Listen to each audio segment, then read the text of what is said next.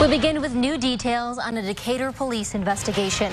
Authorities have arrested three people in connection to a deadly shooting. Good afternoon, I'm Karina Rubio. This shooting happened in February on South 19th Street. Police found Cameron Taylor with several gunshot wounds. He was taken to the hospital and later died. Markia Curry Willis, Kiarius Evans, and Jarvis McClellan are all in custody, and all three are charged with first degree murder.